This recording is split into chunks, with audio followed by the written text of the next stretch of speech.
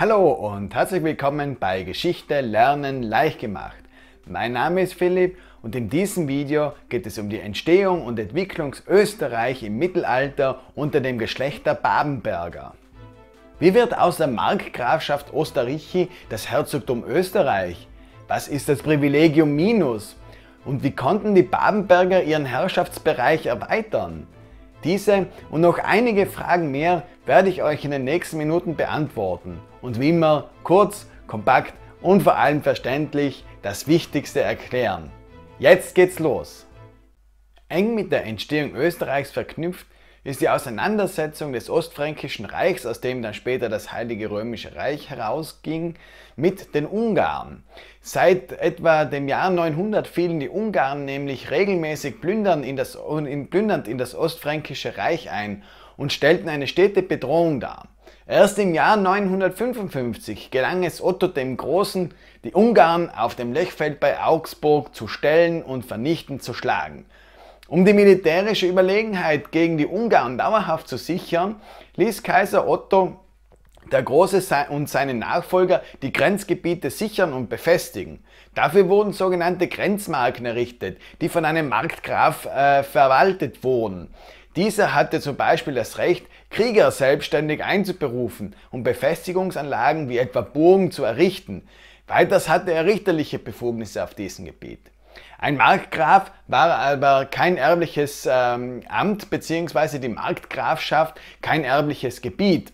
Nach dem Tod des Grafen fiel praktisch das Lehen wieder an den äh, Kaiser zurück und dieser entschied dann, wem er es dann äh, erneut vergeben möchte, wen er damit praktisch belehnen möchte.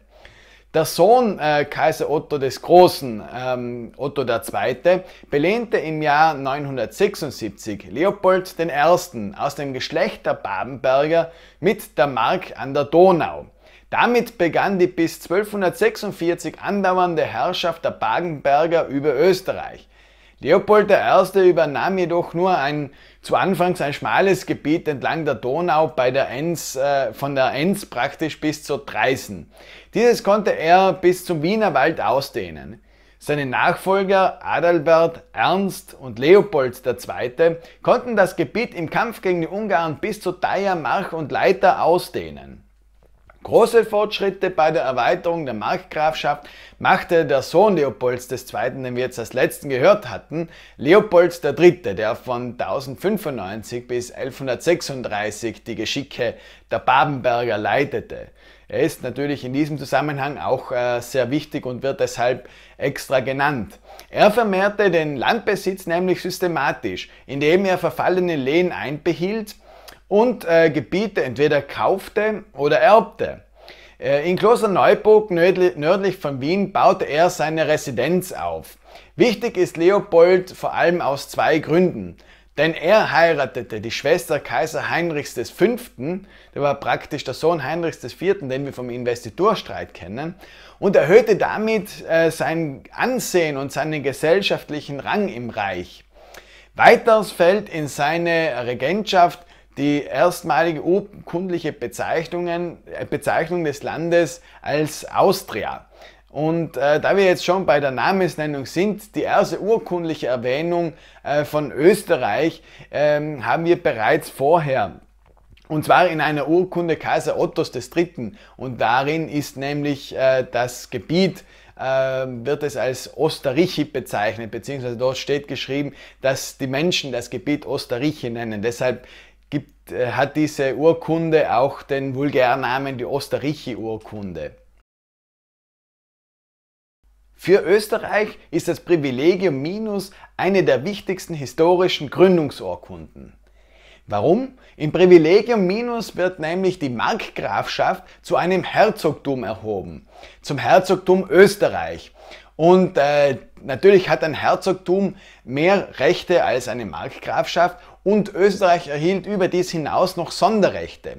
Ausgestellt wurde das Privilegium Minus im Jahr 1156 vom Stauferkaiser Friedrich äh, I. Barbarossa.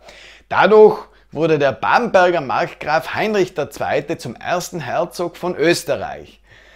Doch warum war das nun äh, so von großer Bedeutung? Wie bereits angesprochen, war eine Markgrafschaft nicht vererbbar, beziehungsweise der Titel und das Land nicht vererbbar. Das, äh, nach dem Tod des Markgrafen fiel das Lehen wieder zurück an den König oder Kaiser, der dann den Markgraf von neuem ernennen konnte, und zwar die Person, die ihm beliebte. Im Privilegium Minus wird mit der Erhebung der Markgrafschaft zum Herzogtum Österreich auch die Erblichkeit des Landes und des Titels äh, sowohl unter den männlichen als auch unter den weiblichen Nachfolgern Heinrichs II. festgelegt. Bei Kinderlosigkeit konnte der Herzog selber seinen Nachfolger bestimmen. Der Kern äh, dies war praktisch die Kernbestimmung des Privilegium Minus und genau darum, wegen dieser Erblichkeit des Landes und des Titels, ist das Privilegium Minus so wichtig. Weiters überträgt äh, das Privilegium Minus auch dem Herzog von Österreich die alleinige Gerichtsbarkeit im Lande. Aber auch die Pflicht, bei Reichstagen zu erscheinen, wurde nur auf solche beschränkt, die in Bayern, also in unmittelbarer Nähe stattfanden und auch die Heeresfolge äh, wurde für den österreichischen Herzog eingeschränkt. Er musste dem Kaiser dann nur dann Truppen zur Verfügung stellen, wenn die Kriegsschauplätze in unmittelbarer Nachbarschaft seines Herzogtums waren. Doch warum bekommt die Markgrafschaft auf einmal vom Kaiser derartig große Rechte zugesprochen? Geschenkt gibt es heute nicht und gab es auch früher nichts. Deshalb fragen wir einmal nach. Hintergrund des Privilegium Minus war der Konflikt zwischen den Geschlechtern Welfen und Staufern, die im Reich um die Vorherrschaft konkurrierten.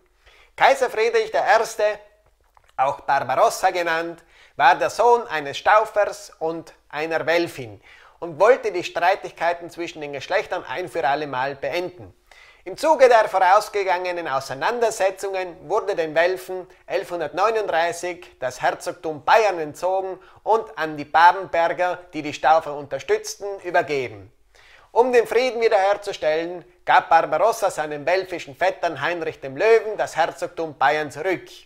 Der in Bayern herrschende Babenberger Heinrich II. musste also den Thron in Bayern räumen und an Heinrich den Löwen übergeben und er erhielt sozusagen als Trostpreis die Markgrafschaft Österreich, die Kaiser Friedrich Barbarossa, um den Frieden und die Freundschaft zu erhalten, mit dem Privilegium Minus aufwertete. Als Österreich im Jahr 1156 unter Heinrich II. zum Herzogtum erhoben wurde, umfasste es in etwa das Gebiet des heutigen Wiens und Niederösterreichs.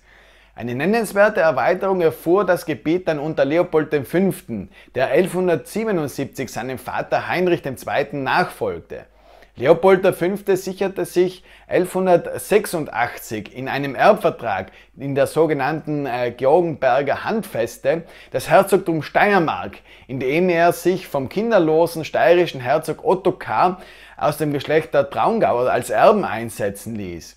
Als dieser 1192 starb, fiel das, das große Herzogtum Steiermark an die Babenberger und äh, wurde dann praktisch an ihr Gebiet angegliedert. Leopold V. war ein sehr selbstbewusster Herrscher. Unter ihm und unter ihm kam es zu einem Aufschwung der Wirtschaft und der Kultur. Er beteiligte sich auch persönlich am dritten Kreuzzug, der von 1189 bis 1192 dauerte, wo er gemeinsam mit dem englischen König Richard Löwenherz und dem französischen König Philipp II. die wichtige Stadt Akkon zurückeroberte. Daraufhin hisste er, wie die beiden Könige, selbstbewusst wie er war, sein rot-weiß-roses Banner auf einem der Burgtürme. Richard Löwenherz fand diese Aktion Leopolds gar nicht gut. Immerhin stellte sich hier nur ein kleiner Herzog auf dieselbe Stufe wie ein König. Wenig diplomatisch wies er Leopold zurück und ließ sein Banner, so wird es äh, erzählt in den Überlieferungen, vom Burgturm hinunter in den Graben werfen.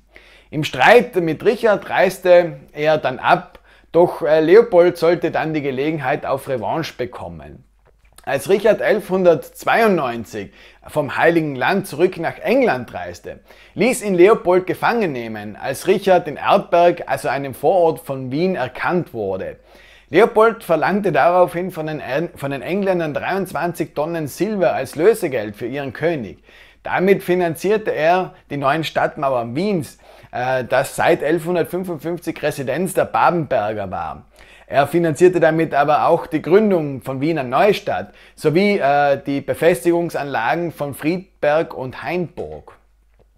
Der letzte Babenberger war Friedrich II., der nicht zu Unrecht auch der Streitbare genannt wurde.